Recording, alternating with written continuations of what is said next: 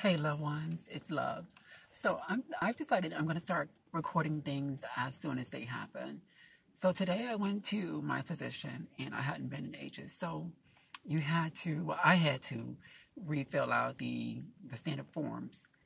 And I got back to have myself weighed. So this is what happened. So they, some, this girl came and got me from the waiting room and I noticed her like look me up and down, like she could, she took stock of me. I'm like, well, you just look me up and down. You, is everything okay? She's like, oh no, you're you're so tall and, and beautiful and skinny. You're so skinny. I'm like, oh, I thank you. I think that's a compliment. but I think she was taken back. She was taken aback because I caught her looking at me like she really like scanned me up and down. Like I'm like, bitch, okay, well wait, what's the like, what's going on? So I was sitting waiting on the physician to come in, and you know, before the physician comes in, um, sometimes the nurse practitioner, the nurse practitioner comes in, um, and we're going through like the standard questionnaire, and I'm fine. I was I was fine. So she got to the question, "Are you depressed?"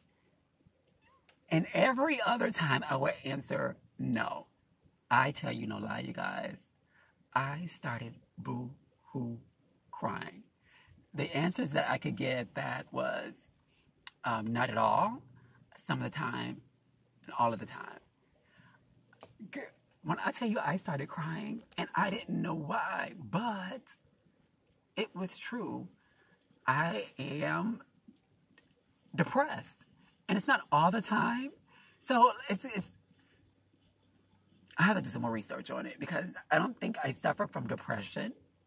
I've been deeply depressed before, where I've been a recluse, um, detached from family, detached from friends.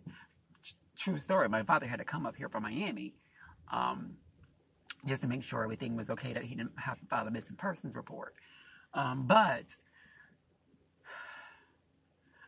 I think that I started to answer and started to weep because one, another question was like, do you ever feel not getting like not getting out of the bed? And of course I do.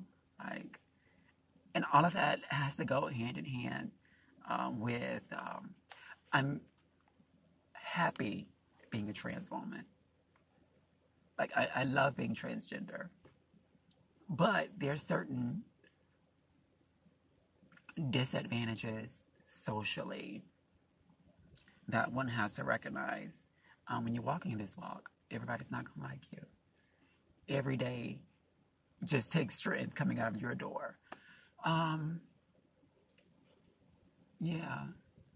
So by the end of the meeting, I, I, grabbed a tissue. She had tissues on her desk, and I'm just like dabbing up under my eyes, like, oh my God. I'm apologizing to her because I had no intention of crying. Um, but she did say that uh, they're going to refer me out to uh, have counseling. And I've seen a therapist before. Okay, so first question that she asked me was, have you ever uh, seen a mental therapist? And I'm like, yeah, I'm transgender. Like I saw one when I was in um, college. Um, to they gave me my my letter to go ahead and get all my surgeries and what have you. And like the next question was like, are you depressed? And that, that's when I started to cry. I'm like, oh my God, I didn't know where that was coming from. But that's what happened. So, and it's crazy because I look on Facebook all the time down my timeline and I see the girls that talk vividly about being depressed and being in depression. And I, I used to always say, oh, girl, what? Girl, you is alive. Like, that's enough to be happy for. Girl, you is living as your womanness, honey, or in your womanness. That's enough to be happy for. Not knowing all the time I'm suffering from the same thing, just a different state of it. Life is crazy. I was looking fly today, you guys.